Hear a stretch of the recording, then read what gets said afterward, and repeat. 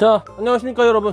어, 오늘은 저번 시간에 이어서 초제트베이 3인방 중 아킬레스에 이어서 초제트 발키리의 어, 분해 영상 초제트 윙이 어떻게 펼쳐지는지 구조하고 한번 보고 가도록 할까요?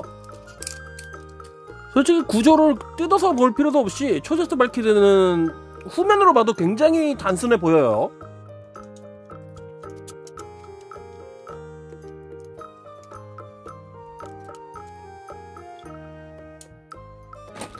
자 중앙 이제 메탈 발키리의 얼굴 부분에 있던 메탈 부분이 탈착식으로 되어 있고요. 메탈 탈착식으로 결합되어 있는 베이는 그렇게 흔치 않았는데 희한하게 해놨네. 가오, 가오나시야 이거?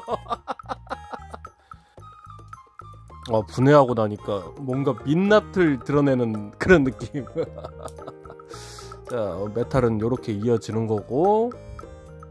자 발키리 얼굴은 이쪽에 있는 거예요.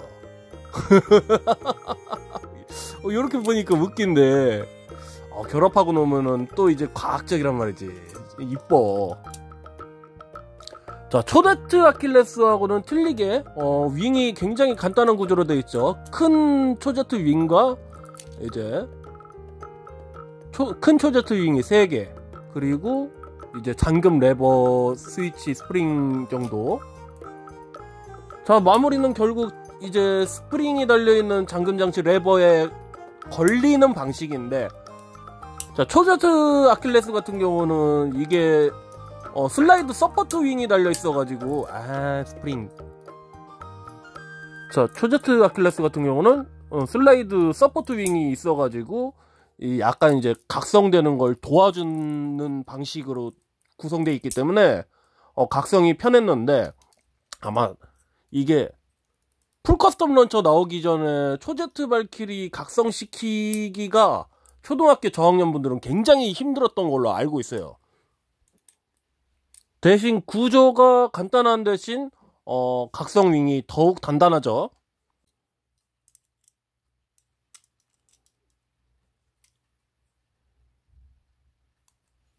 음. 때문에 어, 밀도도 오히려 초제트 아킬레스보다 좀 더 낫지 않나 어, 그런 생각도 들고요.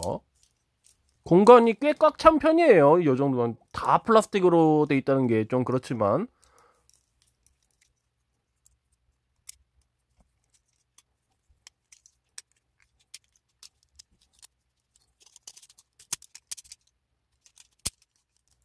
이게 초제트 아킬레스처럼 support wing이 없기 때문에 순수하게 원심력만으로 스위치 이게 스프링이 있는 레버를 뚫고 들어가서 각성날을 걸어줘야 된다는 건데 그것 때문에 이제 근력이 모자란 분들이 각성하기가 힘들었다 이거죠.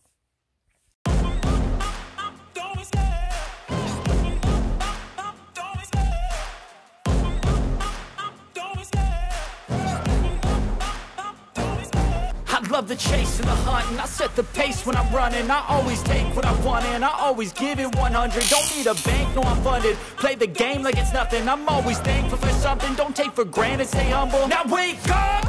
It's time to look at the enemy. Look in the mirror if he is no friend to me. It's not working out, maybe it's the chemistry. It's